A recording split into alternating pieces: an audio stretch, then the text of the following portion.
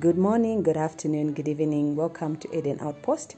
Most of the people they are ignorant about sourdough uh, bread, and most of them they quote the quotation in Counsels on Diet, where Ellen White says that the bread should be sweet and there should not be any sourness. Was she referring to sourdough? Is sourdough classified under uh, something that we should not eat? Uh, let's find out what this is all about and let us learn more from this video as Barbara O'Neill is going to explain. We have had this question a lot about fermented foods. Again, um, some of our doctors will say that it's not good because it's a result of sin. Fermentation is a result of sin. Um, they class kimchi, sourdough, miso in the same category as apple cider vinegar or wine. So, what are your thoughts on that, Barbara? And are there any differences between wine and apple cider vinegar and kimchi and all these other fermented or cultured foods? Well, we know that wine must never be touched. We know that the alcohol kills brain cells, and God has said not to touch it and I don't. And I certainly appreciate what the Bible says about that. Apple cider vinegar, I don't have either. It is one stage short of alcohol.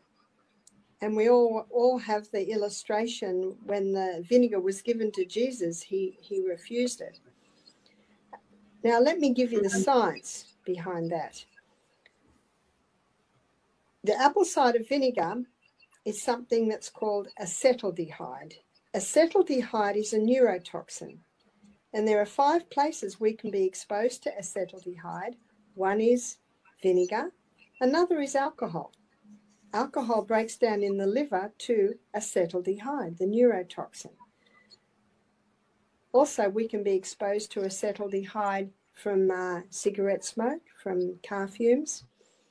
And if someone has a yeast presence in their body and they're eating a lot of lot of glucose, even a lot of fruit, then as the yeast feeds on the glucose, it gives off acetic acid, lactic acid, uric acid, and alcohol, which breaks down in the liver to acetaldehyde. So let's have a look for a moment at things like sauerkraut, um, kimchi, sourdough, miso, these are cultured foods, and there's a big difference between cultured foods and fermented foods. Ellen White said bread should be light and sweet, not heavy and sour. And a lot of people have read that and think she's talking about sourdough bread, but not so. Yeast bread was only used from the Industrial Revolution. What's that, late 1800s, early 1920s, 1900s? Mm. Do you know what that means? Ellen White probably ate sourdough bread. Let's have a look what the Bible says about the sourdough bread. And I think it's 1 Corinthians 5, verse 6, where the Bible says, No, you're not that a little leaven leaveneth the whole lump? That's your sourdough. You can have a little sourdough culture, put it into a big mix of flour and water, and it will leaven the whole lump. And also, you can find this in Luke in one of Jesus' parables. The kingdom of heaven is like unto a woman that took a little leaven and put it in the meal till it leavened the whole lump.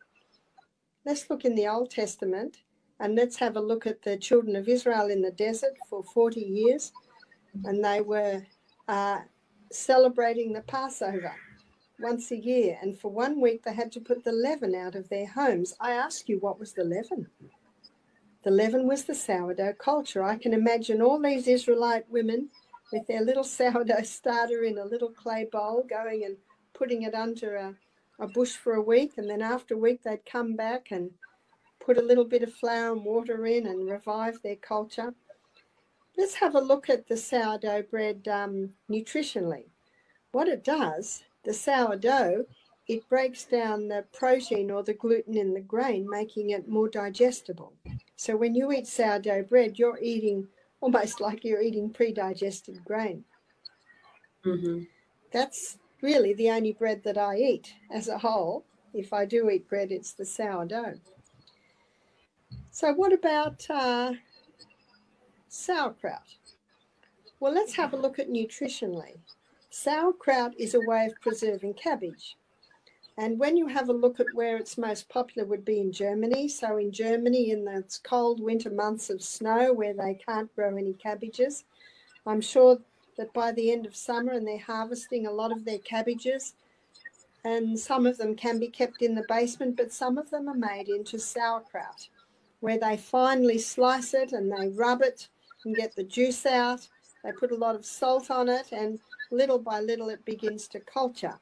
So nutritionally, the sauerkraut is a is a form of cabbage that has been cultured, and in that culturing process, you've got a production of Lactobacillus acidophilus and, and Bifidobacterium, and they are very important for the healthy function of the gastrointestinal tract. Also, in the process of culturing the cabbage, the B vitamins are produced, so it's a you get more B vitamins available in that. And so let's go over to Japan, where miso has been made for centuries, and they they would culture the soybean, uh, the rice, the barley, and again in that miso, it's a cultured food. So when you eat these cultured foods, you're getting some healthy bacteria for your for your gut. Now, if it's let go too long, if it's put into maybe a warm environment too warm, then fermentation begins. And when fermentation begins, alcohol's produced. And whenever the person smells or tastes that, they know they, they must discard it. Mm-hmm. That's very true. So you wouldn't recommend apple cider vinegar or wine or cheese, obviously, no. um, or pickles. Pickles can be classed in the same category, right? Well, it depends what the pickles are made with. If you make pickles mm. with salt and water, they can be quite good. If they're made with vinegar, not so. Yes, very good. I hope that will answer a lot of other people's question as well about cultured foods.